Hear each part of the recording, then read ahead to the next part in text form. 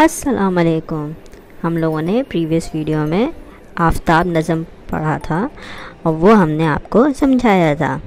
मुख्तसरा इस नज़म में शायर ने सूरज के बारे में अपनी शायराना सोच में इजहार ख्याल करते हुए सूरज की खसूसियात और उससे हासिल होने वाली फ़ायदे बताए थे और उसकी तारीफ़ की थी।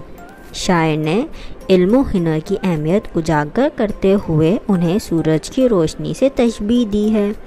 ये नज़म खूबसूरत, अंदाज बयान और ज़ख़ीरा अल्फाज की बना पर मंतखब की गई थी।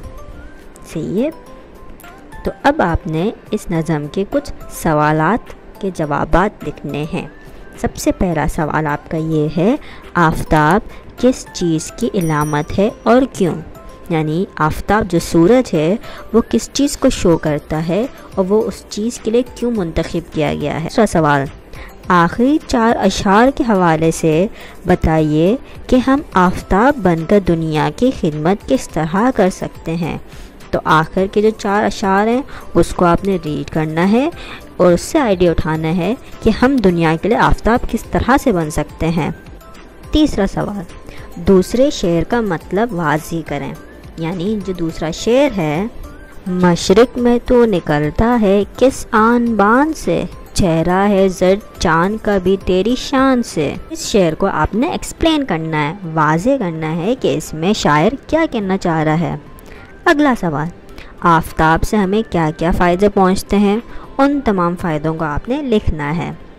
पांचवा सवाल नज़म आफ्ताब के बारे में आप अपनी राय इजहार कीजिए, यानी आपके ख़्याल में नज़म आफ्ताब के बारे में आपकी क्या राय है?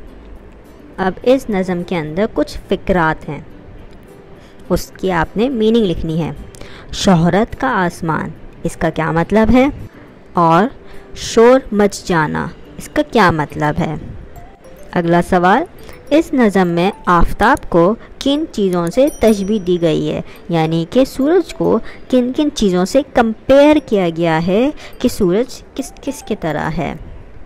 अगला सवाल, चाँद और सूरज को जिन जिन नामों से पुकारते हैं वो लिखिए। तरीके से सूरज को आफ्ताब कहते हैं और चाँद को महताब कहते हैं। तो वैसे ही सूरज और चाँद के और भी नाम हैं वो तो आपने लिखने हैं। आखिरी सवाल नज़म आफ्ताब का मर्कज़ से ख्याल लिखिए।